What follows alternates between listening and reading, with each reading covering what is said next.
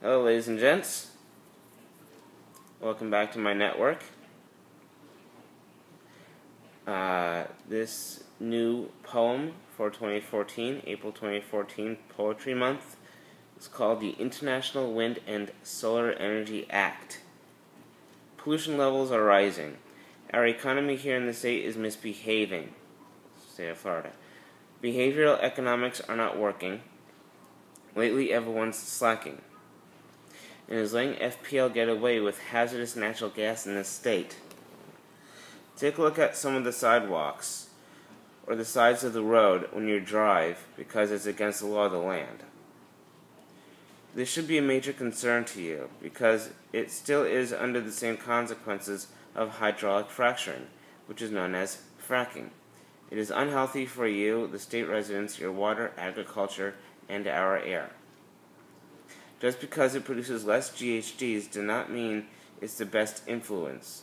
We can stand up and use that voice to be heard and to stand up for our environmental rights, even though shale produces potent GHGs anyway. FPL did announce solar power, and we are seeing the production of in a larger number. With solar power, there are photovoltaic panels that produces no GHGs when processing electricity from using the sun and its heat. And has nothing to do with fracking. I just don't understand FPL's commercial on how it has anything to do with natural gas. I can tell you that I am seeing some better outcomes with buildings along the New River that has wind turbines on the roofing system on greener sustainability that produces electricity and power for that grid. We are trying to come along, but we need to better ourselves along with this outcome by reducing our own footprint and cutting down on cigarette smoking, which is one of them. Especially when it comes to e-cigarettes and cigars lately. FPL is imposing the wrong unhealthy influence with that advertisement, and we shouldn't be manipulated by this haphazard, since after all, this can be labeled as physical harassment on our human right to live and is against ethical sources of better eco-sustainability. I know, since I am always deep in thought, with every piece of environmental research on the rate of what we are dealing with, environmental and health threats, every day of our life. I don't know if all of you are ready to hear all the data of scientific terminology, because, but these pollutants have been consistent until you realize what you have been damaging and henceforth degrading at the same time, what did you really think about before you bought that pack of cancer sticks here? That you fell for their bullshit excuse that helps you with your digestive system?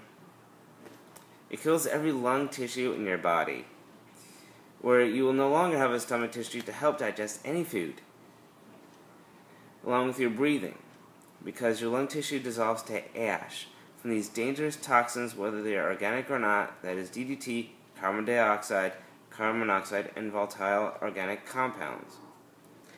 Volatile organic compounds contain formaldehyde, acetaldehyde, benzene, toluene, and acetone. Cigarettes also contain criteria pollutants, and the cigarette smoke itself contains polycyclic aromatic hydrocarbons and the VOCs I mentioned. This is why the Surgeon General's warning on specific packs read cigarette smoking does cause cancer, and others that read cigarettes may cause cancer, which is more screwed up. So, what's the next excuse? They provide that money into corporate use, funding the RNC, where they make dividends that go toward dirty energy, also known as fossil fuels that increase the rate of our changing climate in the NRA, where most citizens want ownership of firearms off our street.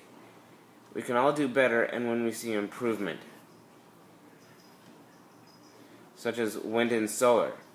We can seek our own personal improving areas, as to not contribute to such disgusting cancer cigarettes we put into our system. I am sorry to say this, but there is a reason why these Jap- why the Japanese are better than us. That is a correction of what is better for our digestive system. Ginger and ginger teas. If I caught you guys had a bad time with my latest poem, Sorry, but I've been more educated since I'm a special liberal person.